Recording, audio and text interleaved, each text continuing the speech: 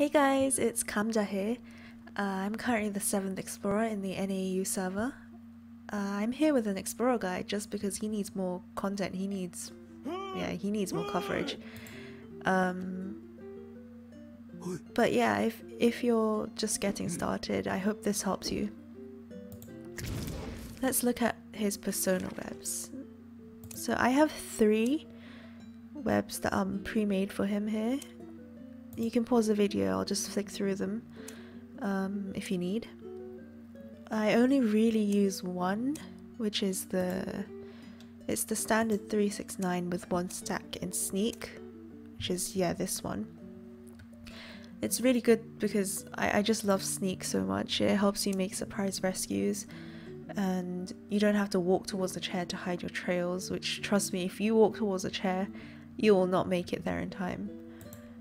Um, so yeah, sneak is just so good. I, I love it. uh, just to show you what a 3-9 persona would look like, it's 3 stacks in airwalk, which is pretty, pretty nice if you want to be prepared to kite. Um, you can lose the hunter if you're lucky since your trail disappears 3 seconds quicker in total if you add on his base trait. Um, I would only use 3-9 if the other three characters are all rescuers or harassers though. And this one, it takes the best of both. I use this quite often, but you have to be really careful just because you won't even have knee jerk to help you if you end up kiting, which explorers do have to kite sometimes. Just be aware of that. But yeah, this is this is the best one for me. Just I need that knee jerk to help me if I get caught or just to help me get around the map. Then you can get your pages faster. So yeah, this is this is my recommendation. let's move on.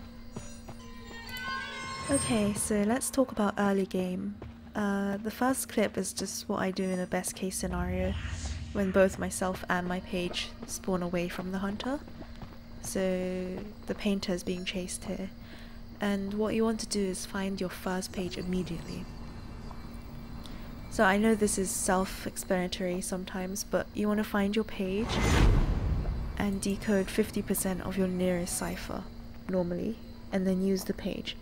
The reason why I don't um, do what a lot of other explorers do is running around finding all the pages at the start um, is because initial cipher rush I think in my opinion is really important. Just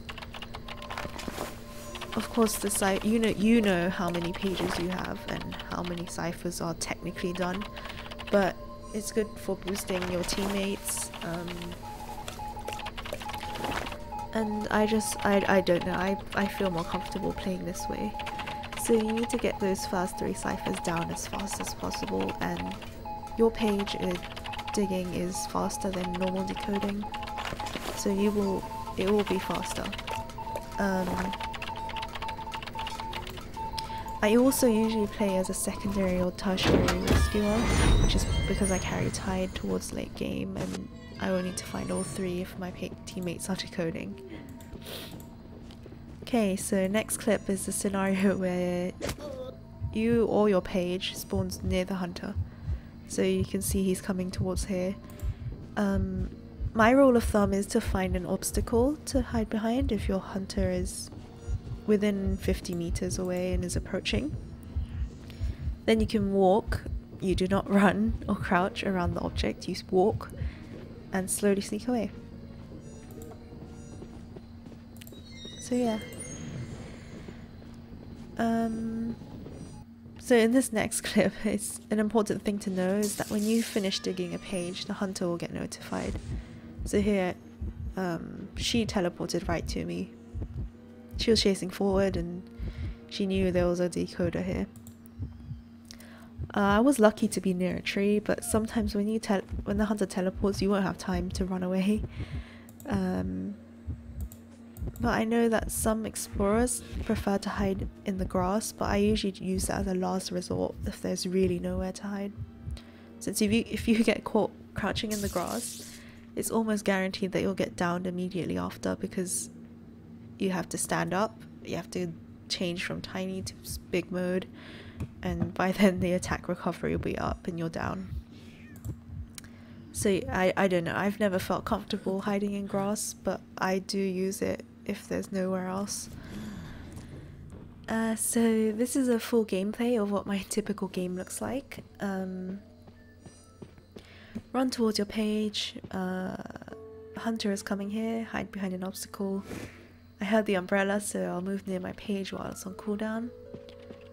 I know the mercenary is decoding there, so it's a good thing I can have this cipher for myself.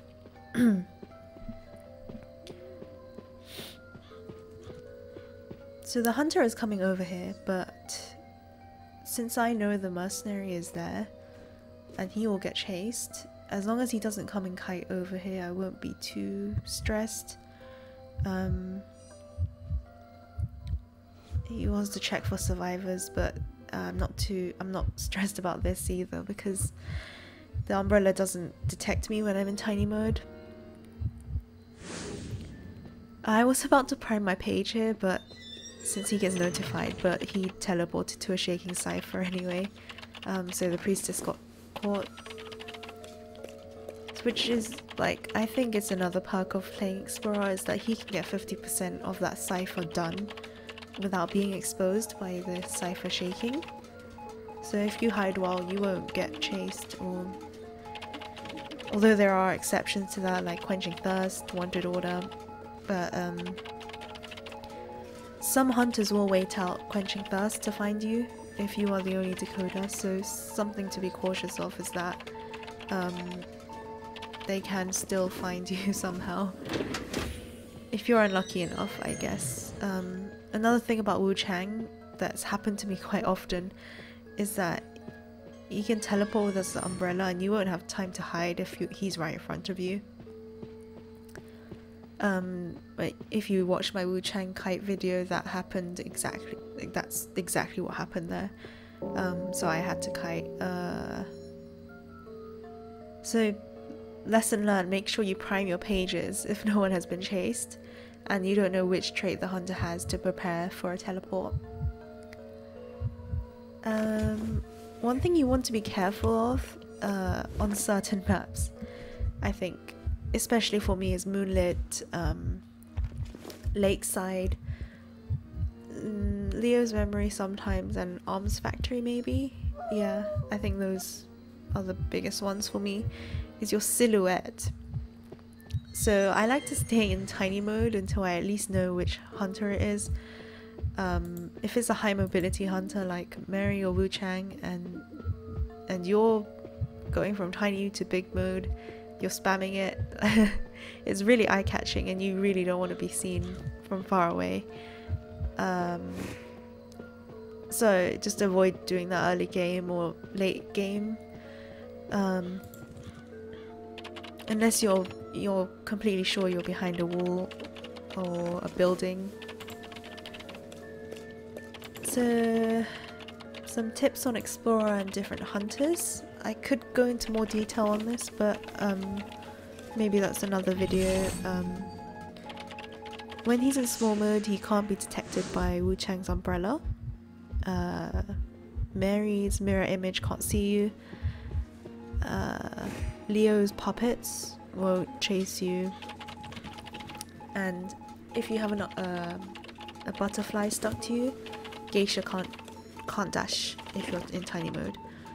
Uh, but I think something to be really be careful of is, which I see a lot, is that when you're in tiny mode, you you are slightly slower, and you shouldn't you shouldn't be in tiny mode for the whole of your kite. You will get caught. Um, so it's best to use it to your advantage momentarily. Um, so I also like to do that behind walls. If I'm kiting in a high wall area or in buildings, you can check where the hunter is. Uh, you won't get mind game like that. Uh, so yeah, uh, next is survivors that I think go well, won't go well with Explorer. Number one survivor that goes well with Explorer, in my opinion, is Prisoner. I think this duo is so underrated. Um, it's it's you can transfer pages between two ciphers. You can pop ciphers easily with this duo. Um, you can. I've had one time where we've gone from four ciphers to one ciphers remaining in a few seconds. Um, I think it's just really powerful. I don't think I've seen many of this duo around, and it's it's pretty underrated, and it'll be nice to see it more, especially if mechanic has been banned. Um, you can still cipher rush like this, and neither of them are. Neither of them have kiting debuffs, despite being decoders, and I yeah. So arguably Luca is the best decoder, um, decoder kiter, um, since he has that shock and explorer should if you hide well you won't even be found um, so yeah uh, survivors other survivors one thing to be careful about when you play with a seer on your team is the the owl that circles you at the start. So sometimes I like to be bold and I will go towards the hunter even if my page uh, I will go towards my page even if the hunter is over there. Just I can waste their time by hiding and I don't want to I don't want to end up having to decode normally um, instead of finding my page um, but something to be careful of if you're going to do that is Seer's owl a tiny one will circle you if you are in tiny mode and that can expose your location really easily it's happened multiple times and if you are caught hiding, it's usually a, a guaranteed down almost immediately. And yeah, be careful of that. Thanks for watching.